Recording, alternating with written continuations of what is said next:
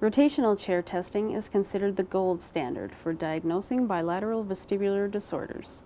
The process can help differentiate central nervous system disorders from peripheral or inner ear disorders and can be used when other testing methods are ineffective due to blockages of ear wax, holes in the eardrum, or certain ear surgeries. Research has also shown that rotational chair testing is much more sensitive at identifying inner ear vestibular disorders than traditional forms of testing.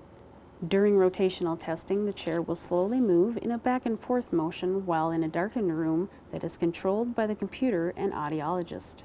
The speed at which the patient is rotated is varied to test the entire range and capabilities of your vestibular system. The audiologist will be able to see if there is a vestibular disorder and how much the brain has already compensated for the problem. Testing in a darkened room allows a more accurate measure of central nervous system function by measuring the patient's ability to visually track moving objects. Another series of tests performed while seated in the rotational chair involves visually tracking or following a small point of light as it moves on the wall.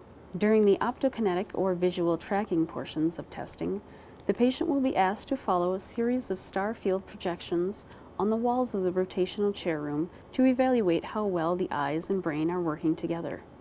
The second optokinetic test has the patient fixate or lock onto a light that is moving on the wall along with the chair. This also helps identify between central nervous system and vestibular disorders. The third part in this testing series is called fixation testing.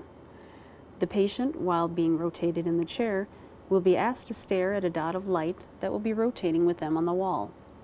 The patient's ability to concentrate on the dot while moving in the chair can help indicate if they have a vestibular or a central nervous system disorder.